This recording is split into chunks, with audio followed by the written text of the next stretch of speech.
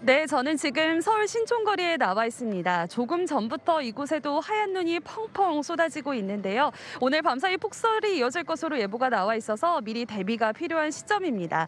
현재 서울을 비롯해 서해안 지방부터 눈이 내리기 시작했습니다. 앞으로 눈은 그 밖에 전국으로 확대되겠는데요. 특히 새벽 시간대 눈발이 굵어지면서 중부를 중심으로는 대설특보가 더 확대 강화되겠습니다.